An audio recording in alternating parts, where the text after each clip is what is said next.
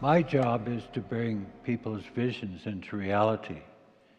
And uh, for me, working with people and uh, working with them is a, a spiritual journey, a magical spiritual journey.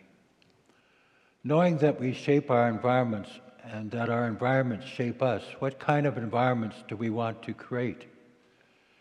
And that's always my question. Uh, what kind of environments we want to create for people? My first uh, uh, major client was a priest who wanted me to design a church for the liturgy. And so we went on a spiritual path together. Uh, at first, I realized that the altar was the whole reason for the space.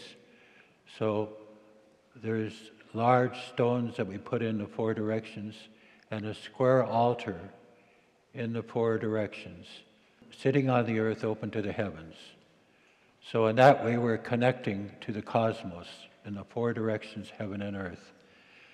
And that, and in this form, uh, people gathered in a circle there was a spiral that opened to the east, the rising sun, a new day, a new opportunity, uh, a new era of the new liturgy. And that was uh, Father Merx's dream. And uh, so, as you see, uh, the altar is a symbol of Christ, and the light cannon over the altar lit the altar in a way that it became the source of divine light, in essence.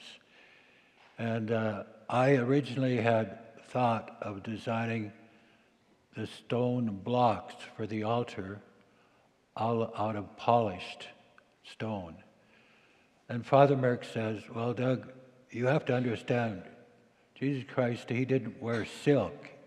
He was a rough man who wore linen. And leave the saw marks on the stone so that it truly represents him. And so uh, it was St. Mary's, the mother of Jesus, would name the church. So I, I wrapped the church in a warm blanket around the, the function uh, with, uh, with brick forms. But at the time, uh, I had a real challenge to figure out, figure out what I was going to do for the roof because I had to have a certain shape of the church, uh, a certain feeling of the church. And also, I only had $357,000 to build it. So, the most economical thing was to build the walls. But the problem was if I, if I formed the roof the way he wanted it, all out of concrete, because his last church burned down, uh, I would have a real serious trouble uh, with the budget. So I had to figure another way to do it. So um, when I I decided uh, when I was building the walls, Father Merx says we have to really get this thing done. Uh, this roof is giving a real problem, uh, and how are you going to do it? You know, and uh, I I said, Father uh, we're walking together on a spiritual path, you have to have faith, you know. so uh, what I did was I, I, I went and sat on Mother Earth, and as my elders taught me, I became at par with a blade of grass so that I could communicate with all life around me. And there I, I uh, emerged uh, in the bushes in front of me was a spider. And the spider started building a web. And I started strand by strand to slowly building this web. And I thought, that's how I'm going to do the roof. You're showing me how to do the roof, my brother the spider. And uh, so I was very grateful for that little life, that little spirit that gave me this information about building the roof. So I was able to then get cables, uh, steel cables with plastic coated concrete, and uh, I had the light cannon over the altar, and I strung cables, and then I put uh, a mesh underneath to pour three inches of concrete over the whole uh, roof, and then uh, and then when the concrete cured, I was able to uh, post tension all the cables from the from the inner from the inner ring and lift 250 tons of concrete up in space, which formed the roof. And so uh, uh, we got the shape that we wanted because it's a spiral form uh, that uh, actually enhances the acoustics. Like a conch shell, you put to your ear, you can hear the, the sea because it reverberates the sound back and forth. Because I needed the long reverberation time because the Archbishop wanted me to put 12 consecration stones in the walls and he wanted to consecrate it as a cathedral. So I wanted it to sound like a cathedral. Uh, you know, so it would say Dominus vobiscum, you know, with a long reverberation time.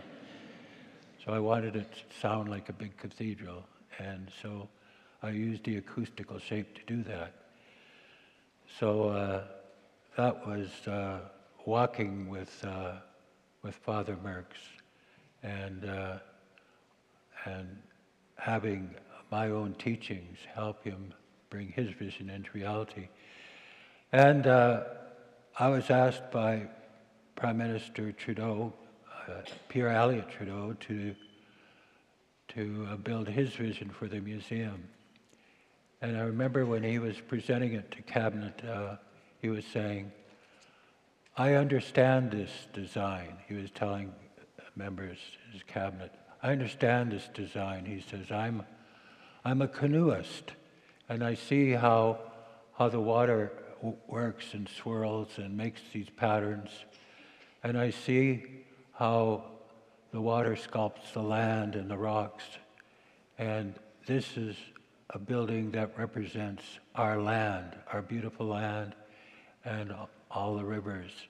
And it's on the Ottawa River, and it belongs there. And he says, I, I feel that. Uh, that uh, this vision is what we need for the nations to bind people together and uh, speak about our land, which we all love. And, and he wanted also uh, a grand hall so that all the cultures could be represented and uh, that we would get together and understand each other so that uh, we would be all treated in a good way. And uh, he wanted that to be the place where everybody would come and celebrate all the cultures of Canada. And uh, so to give that power, I, I uh, we had a Haida sculptor who did very powerful spiritual images. And so the images were north and south, east and west in the four directions. And uh, the whole hall opens to the east, the rising sun, and uh, a new day, a new opportunity, a new way of thinking. And uh, east is uh, power of the eagle. So, in this building here, I was asked to do uh, by the uh, president of the University of Saskatchewan and Saskatoon uh, a place, a spiritual place that would uh, teach the traditions of, of our indigenous people. And there, this is also a building that is in the, open in the four directions, heaven and earth. So, uh, but instead of facing east, it faces south, because in their lodges there, where I worked with the elders, the lodges actually face south, which is uh, migratory uh, life that comes from the south. And so it is to give life to the, to the whole lodge here. This is a sacred lodge. And here, um, this is where people gather together and realize that if you, if you connect yourself to the four directions, heaven and earth, uh, you connect yourself to all of creation, When you connect yourself to the source, you become truly a sorcerer. You become a magical being clothed in flesh. And in that way, you can, we have this gift and power of creation, and we can create a better life, and we can create a, a better future for all of us. So, uh, the elders' teachings, I think, are the teachings of the future, not just of the past. So, the grandmothers got together when we were putting together the indigenous architectural principles in Venice. And these uh, principles um, were defined by them because it's always the women that guided us next. So every step must follow a spiritual path guided by the elders in the community. Next. One must conduct oneself in a good way and three. One must train oneself to always be in the service of others. One must respect people's own traditional decision making processes. Architectural form is inspired by the spirit of nature. And next, when one plans for the future, we must plan for all of our life givers for seven generations. We have to respect our life givers, all the birds, the animals, the fish, the plants, all the medicines. If we don't respect them, we won't have any future. Next. Knowing that we shape our environments and that our environments shape us, what kind of environments do we want to create? What kind of environments do we want to create for all of our future? Thank you very much.